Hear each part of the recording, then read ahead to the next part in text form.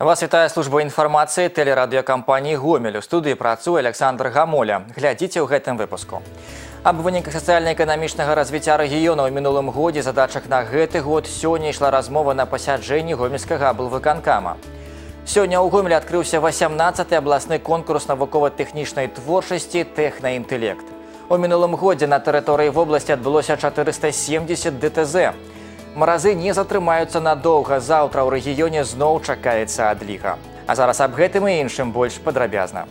Сёння на пасяджэнні гомельскага аблвыканкама абмеркаваны вынікі сацыяльна-эканамічнага развіцця рэгіёна ў мінулым годзе і вызначаны задачы на гэты год. Сярод асноўных прыярытэтаў зніжэння вытворчых затрат, павелічэння экспарту і рост рэальнай зарплаты. Олег Сенцюров азнаёміўся з прынятымі рашэннямі. По великим рахунку вынікі мінулага года гэта тая аснова, на якой будзе развівацца эканоміка гомскай вобласці сёлета. Некаторыя параметры яшчэ удакладняюцца, але ўжо можна сцвярджаць з 11 асноўных паказчыкаў выканана 7. Тут ёсць на чым працаваць мясцовым органам улады, але можна канстатаваць і той факт, што некаторыя праблемы толькі на ўзроўні вобласці не вырашыць. Яскравы прыклад экспорт паслуг амаль 80% пры 103 запланаваных. Гэта перш за ўсё зніжэнне аб'ёму прапампоўвання расійскай нафты праз беларускі нафтаправод. Са зніжэннем паставак расійскай сыравіны звязваюцца і праблемы ў рабоце мазырскага нафтаперапрацоўчага завода, што ў сваю чаргу паўплывала на невыкананне такога паказчыку, як валавы рэгіянальны прадукт. Разам з тым казаць, што на месцах робіцца робіцца ўсё магчымае пакуль таксама нельга у прынятай пастанове значаецца недастатковая работа шэрагу райвыканкаму па экспарце тавараў павелічэнне рознічнага тавараабароту і росце рэальнай зарплаты тут некаторым дзяржаўным прадпрыемствам ёсць чаму павучыцца у прыватнага сектара если говорить об объемах производства э, они у них выросли на 8,2 процента в отличие скажем от других предприятий там и уровень заработной платы уже на многих предприятиях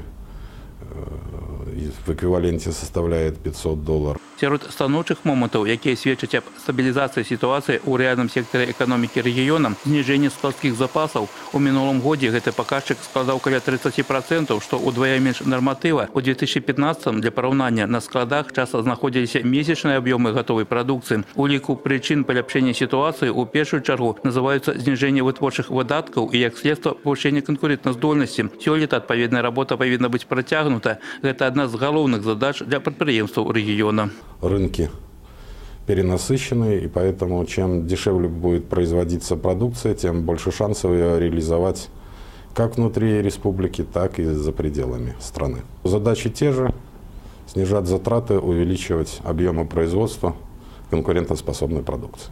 Пытанне нарошчвання экспорту сёння актуальна і для аграпрамысловага комплексу. Значная частка вырабляемай сельскагаспадарчай прадукцыі накіроўваецца за межы Беларусі, што напрамую ўплывае на напаўняльнасць бюджэту. У сувязі з санкцыямі ў адносінах да шэрагу перапрацоўчых прадпрыемстваў у апошні час тут таксама ўзніклі пэўныя праблемы. На іх канчатковае вырашэнне адводзіцца максімум один месяц. Задача нам по экспорту 106 процентов.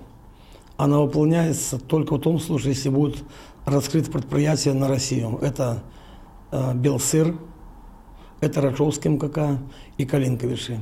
Калинка.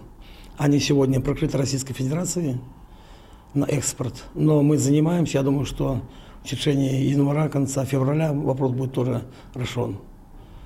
Продукция есть у нас, мы сейчас принимаем меры, чтобы э, по сырьевым зонам молоко перебрасываем в другие предприятия, которые проводит экспорт. Олег Сентюров, Валерий Гапанько, телерадиокомпания «Гомель». Прафсаюзы, моладзь і ветэраны, тры грамадскія рухі гомельшчыны ў мінулым годзе аб'ядналі свае намаганні дзеля вырашэння агульных задач. І праз год сёння сустрэліся, каб падвесці вынікі і вызначыць планы. Пра іх супрацоўніцтва на канкрэтных прыкладах раскажа Ганна Кавалёва. Год таму ў гэтай жа зале было падпісана першае пагадненне аб супрацоўніцтве трох арганізацый гомельшчыны БРСМ прафсаюзнага аб'яднання і арганізацыі ветэранаў. Праз год яны сабраліся, каб прааналізаваць праведзеную работу и скласти агульныя планы на 2017 год. Это соглашение нас объединяет общей цели, которая направлена на социальную защиту пожилых людей, ветеранов Великой Отечественной войны или лиц, приравненных к ним.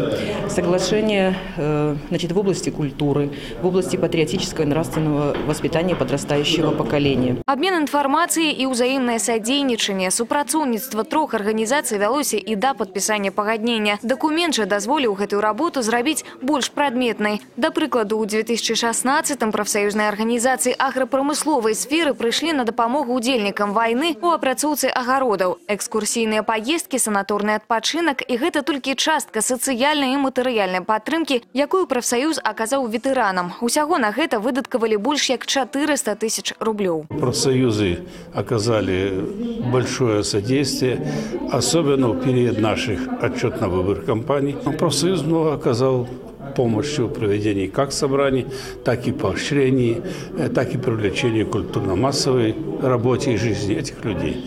И ветераны за это им говорят спасибо Падтрымлівала прафсаюзная арганізацыя і актывістаў БРСМ. Так, дзякуючы гэтаму тандэму музей бус кветкі вялікай перамогі ў мінулым годзе змог аб'ехаць усе вобласці краіны. Яшчэ адзін прыклад валанцёрскі праект усе фарбы жыцця для цябе, мэта якога арганізацыя дабрачынных канцэртаў. Усе сродкі ад продажу білетаў ідуць на лячэнне цяжка хворых дзяцей. В планах на 2017 год продолжить реализацию проекта «Цветы Великой Победы», открытый диалог, диалог поколений.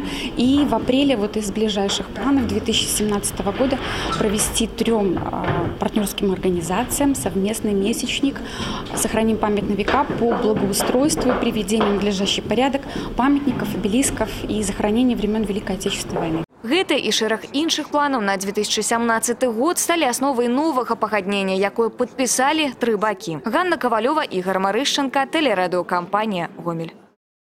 Сёння ў гомелі адкрыўся 18 абласны конкурс навукова-тэхнічнай творчасці навучэнцаў тэхнаінтэлект. На працягу двух дзён яго ўдзельнікі будуць прэзентаваць распрацоўкі, зробленыя з выкарыстаннем сучасных тэхналогій.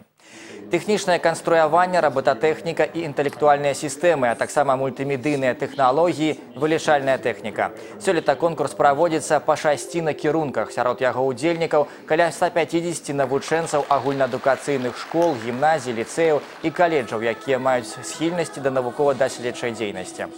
Пры гэтым апрача дэманстрацыі распрацовак арганізатары прадугледзелі і тэарэтычны тур, падчас якога канкурсанты павінны вырашыць фізічныя задачы з тэхнічным зместам. Вынікі конкурсу будуць падведзены заўтра. Дыпламанты атрымаюць магчымасць стаць членамі абласной каманды і прыняць удзел у адпаведных рэспубліканскіх спаборніцтвах. 18 лет – это совершеннолетие, и мы очень рады, что совпало с годом науки, потому что этот конкурс – это все-таки праздник науки нашей молодежи молодежи. Увеличивается количество участников нашего конкурса, он приобретает популярность, но при этом хочется отметить, что уровень работ с каждым годом становится все выше и выше. Адзіны дзень бяспекі дарожнага руху пройдзе заўтра ў краіне. Мерапрыемства праводзіцца пад дэвізам выконваем правілы дарожнага руху, папярэджваем ДТЗ. Летась на тэрыторыі гомельскай вобласці адбылося 470 дарожна-транспартных здарэнняў. У іх выніку загінулі 96 чалавек. 487 атрымалі траўмы рознай ступені цяжкасці. Па віне вадзіцеля адбылося 381 ДТЗ. Пешаходы вінаваты ў 64. 57 ДТЗ учынены вадзіцелямі ў стане алкагольнага ап'янення. Заўтра па ўсёй краіне інспектары даі наведаюць працоўныя калектывы і установы адукацыі. Нагадаюць усім удзельнікам дарожнага руху аб іх правах і абавязках, адказнасці за невыкананне правілаў. Павышаную ўвагу супрацоўнікі даі нададуць юным удзельнікам дарожнага руху. Маразы не затрымаюцца надоўга. Ужо заўтра ў дзень зноў чакаецца адліга. Па інфармацыі абласнога гідрамедцэнтра на большай частцы тэрыторыі пройдзе снег і мокры снег. На асобных участках дарог захаваецца галалёдзіца. Тэмпература паветра ў нашы складзе да мінус 10 пры праясненнях да 11-15 градусаў марозу. У дзень слупкі тэрмометраў максімальна ўздымуцца да плюс двух. На выходных ветер зменіць накірунак на паўднёвы. Чакаецца туман, мокры снег і дождж. Тэмпература паветра ад мінус трох да плюс двух. Гэта іншыя навіны вы можете знайсці на нашым сайце ў інтэрнэце па адрасе 3w кропка цівергомел кропка бівай. На гэтым выпуск завершаны ў студыі працаваў Александр Гамоля. Усяго вам добрага і да сустрэчы ў эфіры.